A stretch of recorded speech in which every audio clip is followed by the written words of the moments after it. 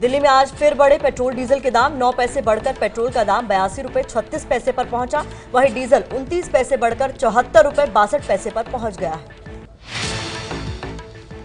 मुंबई में भी petrol diesel की कीमतों में इजाफा हुआ है। मुंबई में पेट्रोल सतासी रुपए बयासी पैसे पर पहुँचा। वहीं डीजल बढ़कर अठहत्तर रुपए बाईस पैसे प्रति लीटर पर आ गया है। आम्रपाली ग्रुप के डायरेक्टर अनिल शर्मा के नोएडा सेक्टर बासठ के दफ्तर लेकर पहुँची पुलिस। दफ्तर के दस्तावेजों की जाँच की। अम्रपाली बिल्डर्स के तीन निदेशकों की पुलिस हिरासत खत्म करने की याचिका पर सुप्रीम कोर्ट में आज सुनवाई। नवरात्र शुरू होते ही गुरुग्राम में विवाद। गुरुग्राम में हिंदू संगठनों ने बंद कराई मीट की दुकानें। दिल्ली के वजीराबाद के स्कूल में धर्म के आधार पर बच्चों को अलग अलग बैठाने के मामले में स्कूल इंचार्ज निलंबित।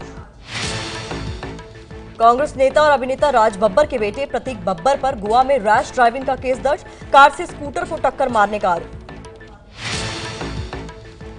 दिल्ली पुलिस ने नीरज बवानी और अमित भूरा गैंग के एक शार्प शूटर को मुठभेड़ के बाद गिरफ़्तार किया।